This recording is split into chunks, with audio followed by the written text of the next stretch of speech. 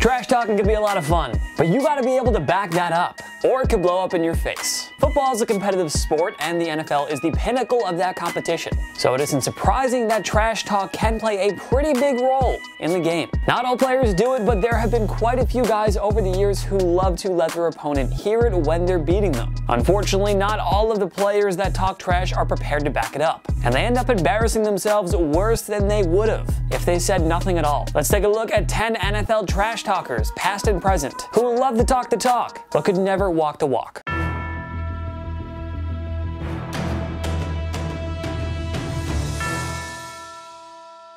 In many ways, Brian Bosworth, the former standout linebacker at the University of Oklahoma, was the forefather for this crop of unsuccessful trash talkers. Between his master plan to manipulate the draft completely failing and his career turning into a complete disappointment as he flamed out of the league within two seasons with shoulder problems, his entire story is that of a player who ran his mouth and couldn't back it up. Perhaps the most notable instance of this came ahead of a matchup with the then Los Angeles Raiders, as Bosworth publicly claimed that he was going to contain Bo Jackson. Unfortunately for the Boz, Jackson ran wild against the Seattle defense for 221 yards and three touchdowns, one of which he blasted right through the Seahawks linebacker to score. After that play, Jackson allegedly told Bosworth, next time make sure you have a bus fare. See, Brian? That is how you back up your trash talk. Interestingly, it was actually during his formative years at OU that the Boz's reputation as a loudmouth, almost larger than life character, began to develop. He played three seasons for the Sooners and was recognized as the consensus All American in both his sophomore and junior years, but was followed around by steroid allegations. Between his propensity for running his mouth,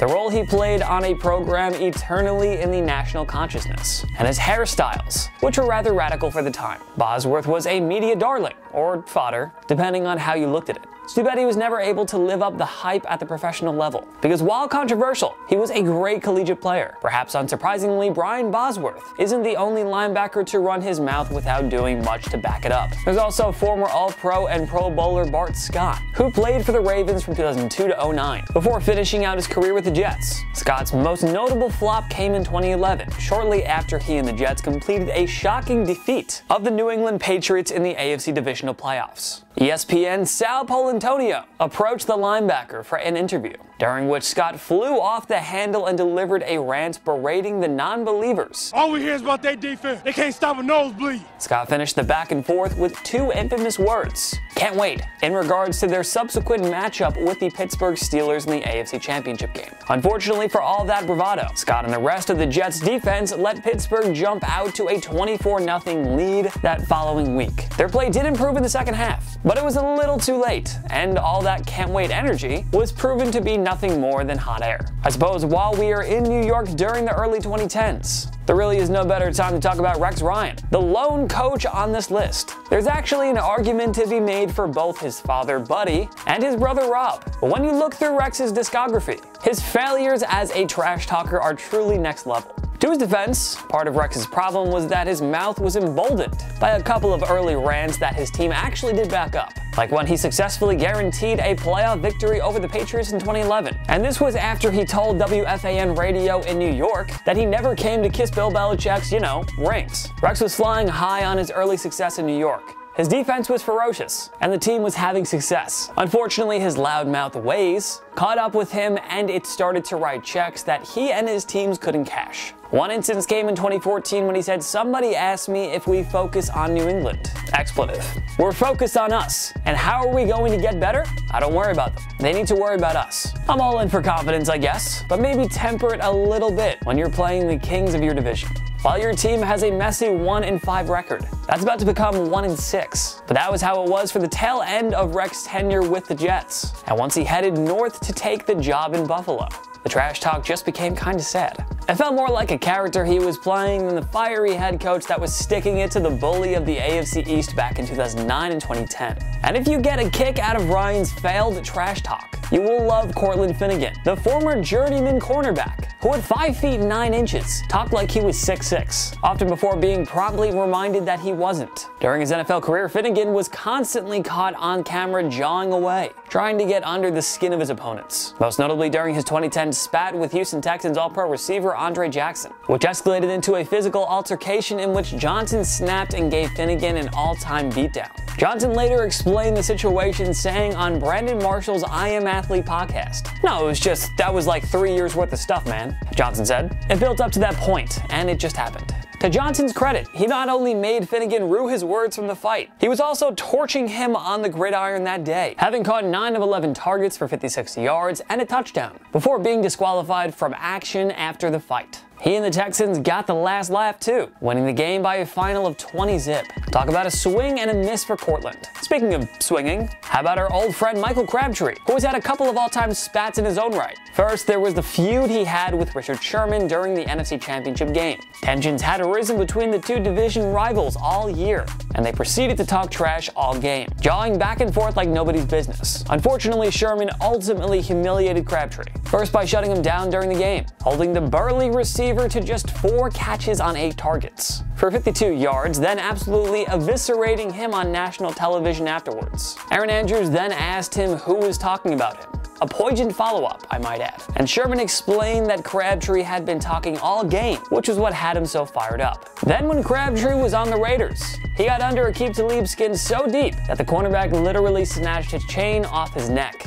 In the middle of a game, it doesn't get much worse than that. There are also a bunch of quarterbacks who seem to love the trash talk, which if you ask me, is a little messed up, because let's face it, they are essentially a protected class in the NFL. So they are doing it without fear of physical retribution. But that doesn't mean they haven't been embarrassed as a result of it. Just ask old Philip Rivers, who spent the better part of his 17 years running his mouth. Granted, in his down-home country boy good-natured way, but still, he was one of the most relentless trash talkers the game has ever seen. Unfortunately, he was rarely able to really back it up as he and those often talented Chargers teams tended to underperform or come up short when it mattered most usually with Rivers himself as the cause of their downfall, either with an untimely interception or a failed comeback drive late in the fourth quarter. Not to diminish what the eight-time Pro Bowler accomplished during his lengthy career. I'm just saying maybe if he focused a little bit more on what he could control with his huddle and with his offense, perhaps the Chargers would have gotten over the hump and actually won a Super Bowl, or at least made it to one. I mean, the guy was crazy. He even jogged back and forth with opposing quarterbacks at times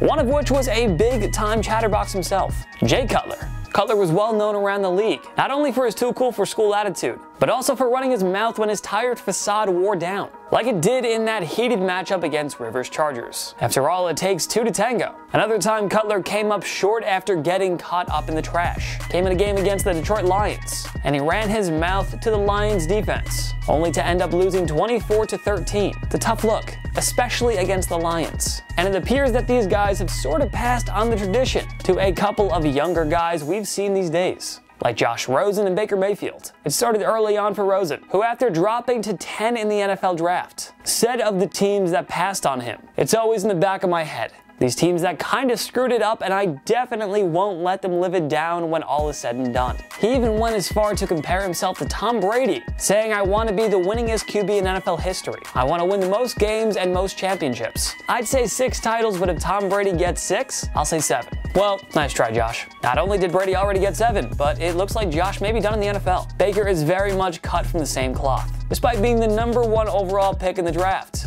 He has continued to act like he has a mountain-sized chip on his shoulder, and now he's four years into his career without much to show for it. In fact, he's done so little that half the time he's trash talking. He has to do it on behalf of his teammates' accomplishments, like he did against the Jaguars. And now he's been reassigned to essentially trash talking the entire organization that took him instead. The whole situation's a mess, and largely because Baker can't stop trash talking when he's supposed to be performing on the field. I suppose we could bookend this list with another old school guy who, like Brian Bosworth, was a star facing steroid allegations and the college ranks that had to eat some serious humble pie at the NFL level. Tony Mandarich. Mandarich redefined what it meant to be an offensive lineman during his days at Michigan State. He stood at 6 foot 6 and 330 pounds of muscle and regularly manhandled opposing defensive linemen. His freakish athleticism was put on full display at the NFL Combine basically cementing his status as probably the greatest offensive line prospect in NFL history. The world had never seen a 330 pound man run a 40 in 4.65 seconds, or have a 30 inch vertical jump, all while bench pressing 225 39 times. Simply insane. Mandarich's ego was insane on its own right, and as he became increasingly paranoid about his steroid usage,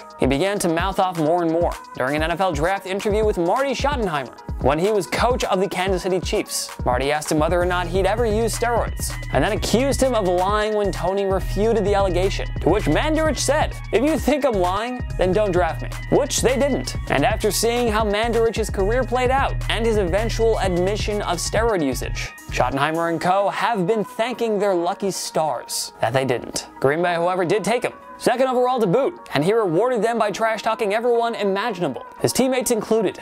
He went as far as saying, I am not like other players, I am Tony Mandarich. And they have to understand that. If they don't like it, that is just the way I am, and they are going to learn to like it. Again, something that he couldn't back up. When all was said and done, his four years in Green Bay made for one of the worst draft flops of all time. So much for backing up all the trash talk. Which current NFL trash talker do you think needs to stop running his mouth so much? Join me in the comment section below. Make sure to follow myself and TPS on social media. We post great content all the time. Instagram, Twitter, TikTok, YouTube, on everything. Go subscribe, go follow. If you like this video, give it a like. It takes one click down below and subscribe to TPS. We post videos every day. Every day's a new video. Of course, thank you so much for watching. I'm Jason Biondo. I'll see you next time.